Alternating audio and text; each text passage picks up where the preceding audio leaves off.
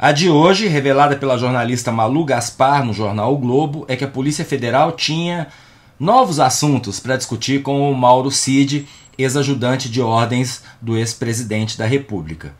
Esse ex aí é muito gostoso de falar. A PF achou uma minuta de uma operação militar, uma GLO, para garantir a ordem e vários estudos de como agir depois de um golpe de Estado, como administrar o pós-golpe. Vão dizer o que agora? Que estudar golpismo era um hobby do secretário pessoal de um ex-presidente que inúmeras vezes ameaçou o país com um golpe? Salve galera, eu sou o Maurício Ricardo. Inscreva-se, ative o sininho, deixe o like ou dislike e comente. Seu comentário soma muito. Eu tenho estudado bastante sobre mídias sociais. Indignação coletiva é uma excelente forma de engajar pessoas.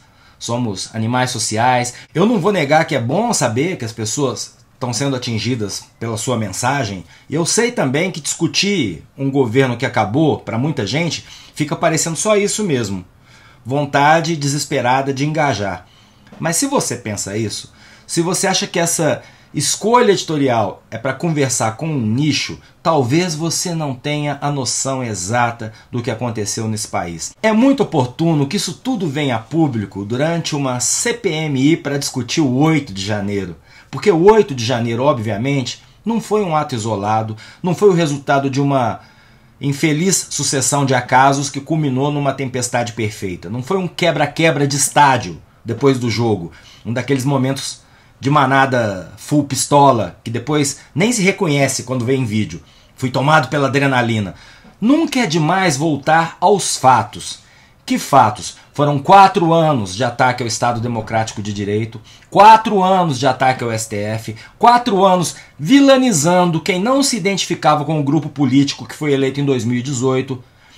E aí vieram as eleições presidenciais de 22, que num período democrático normal jamais seriam reconhecidas como regulares ou justas. O governo passado distribui benefícios eleitoreiros em plena campanha, o que é proibido por lei, e nada acontece. O ex-presidente roda o Brasil e promove com o nosso dinheiro eventos exclusivamente eleitoreiros, as tais motocicletas, por exemplo, e nada acontece. Usa a máquina pública para prejudicar adversários, aqui eu estou falando das ações da Polícia Rodoviária Federal no dia do pleito, e nós tivemos o mais traumático pós-eleições da história, pelo menos desde a redemocratização pressão ostensiva em cima da democracia. Dois longos meses de golpistas hospedados pelo exército na porta dos quartéis. Dois meses.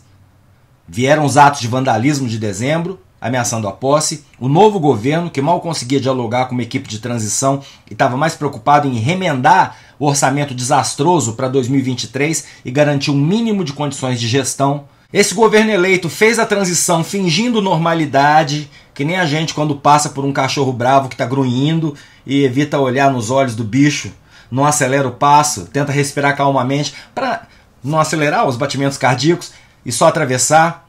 É isso que o governo de transição fez sob a vigilância do STF. Atravessou aqueles dois meses. E quando finalmente aconteceu a posse, lembrando ainda que o ex-presidente e os seus principais aliados, durante todo esse tempo evitavam admitir a derrota e mandavam sinais para os golpistas com camisa da seleção, com apoio explícito de setores militares. Sempre digo aqui: tira os cones, estaciona o carro na porta de um quartel e me conta quanto tempo vão demorar para te tirar de lá. Então, depois da posse só restava o golpe, e o golpe estava traçado, planejado e divulgado junto ao núcleo de apoiadores do ex-presidente. Isso vai ficando mais e mais inegável. Se aquele grupo não tivesse plena convicção e plena crença na possibilidade de sucesso do golpe, por que esses documentos estariam disponíveis em celulares?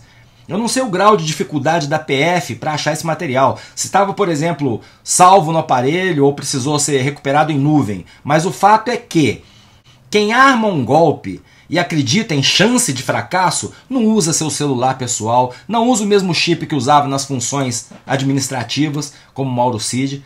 Achar uma GLO, que é um decreto de garantia da lei e da ordem, no celular do Cid, não é nem batom na cueca, é marca de chupão na virilha.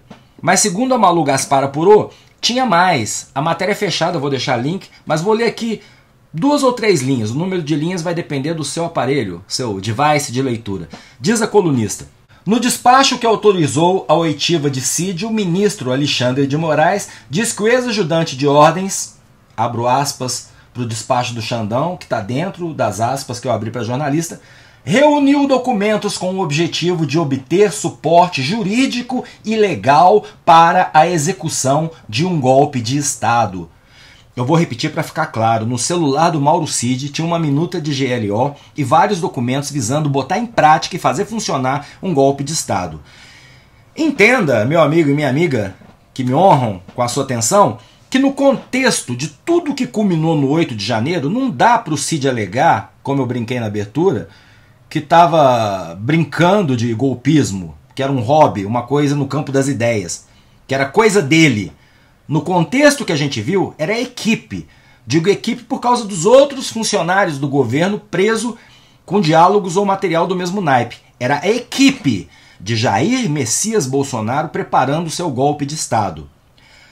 Aí o bolsonarista em processo de desconstrução me pergunta: se eles estavam com a faca e o queijo na mão, por que não deram o golpe? Eu diria, mas é só minha opinião, que as reações que eles esperavam da sociedade e das instituições não ocorreram conforme o planejado.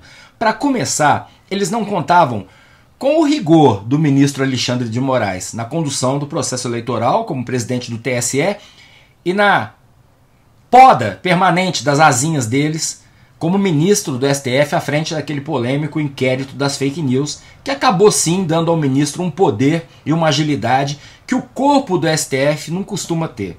Depois tem o fato de que a vitória do novo governo foi obviamente legítima, e sendo legítima, não teve uma população revoltada indo às ruas e gritando fomos roubados. Ou seja, o movimento que seria mais fácil com adesão popular não teve adesão popular, não capilarizou, não se espalhou, não se espelhou em outras cidades a partir de Brasília. E por último, mas não menos importante, se o governo golpista esperava que o governo recém-impossado fosse se desesperar no dia 8 e pedir ajuda às Forças Armadas, errou redondamente. Se o exército tivesse sido convocado para botar ordem no dia 8 de janeiro, quem depois iria remover os fardados de lá? Quem iria questionar que eles precisavam oferecer GLO, garantia da lei e da ordem?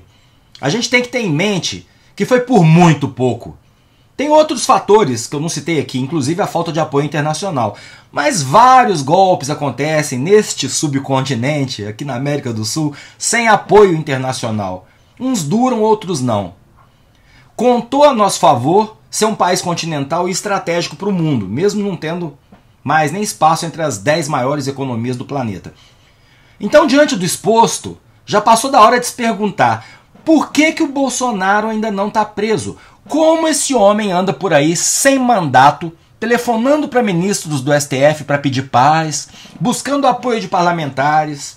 Descobri que rei morto, rei posto é um duro fato da vida. E descobri que quem confia no centrão se ferra também. Então isso deve deixar ele, o ex-presidente, a sua família, muito angustiados. Mas angustiados, todos nós que ficamos fora daquela bolha, também estávamos durante a pandemia, durante a cultura de agressão e negação da vida que a gente percebeu, e muitos dos nossos amigos e parentes não. Angústia não é crime pela legislação brasileira. Tentativa de golpe de Estado, e esse é só um dos crimes graves, sim, tá lá, previsto até na Constituição, na Carta Magna. Hoje eu nem botei disco lá atrás porque a camiseta do Pink do cérebro já passa um recado. O Pink não quis depor. Mauro Cid ficou em silêncio diante de tantas provas irrefutáveis. Mas pelo que eu me lembro, no desenho, o cérebro ficava com ele, preso na gaiola. Eu sou Maurício Ricardo, inscreva-se nesse canal, ative as notificações, deixe o like ou dislike, seu comentário que é sempre muito importante. Lute pela democracia.